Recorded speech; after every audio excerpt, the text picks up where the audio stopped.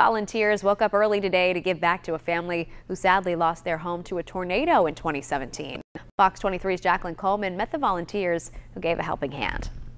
Kindness in Action is brought to you by Forrest General Hospital.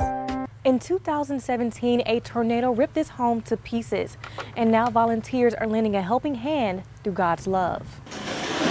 A few hands taking on a big project. We've got a small crew, but we are a mighty crew, and we are putting drywall in this home. Drywall that is part of the 28th home built through R3SM organization. Major undertaking. Um, a lot of people from the community um, have donated and gave very generously. Um, our local volunteers, we're very appreciative for them. These faithful volunteers are part of the Nomads mission, traveling across states for one purpose, making a difference in someone's life. Meryl Lynch and her husband are part of the Nomads and sees helping others as a way to share God's love. We, when we decided to develop, to go on a full-time lifestyle, full-time travel lifestyle, we didn't know for sure how we were going to still serve Christ.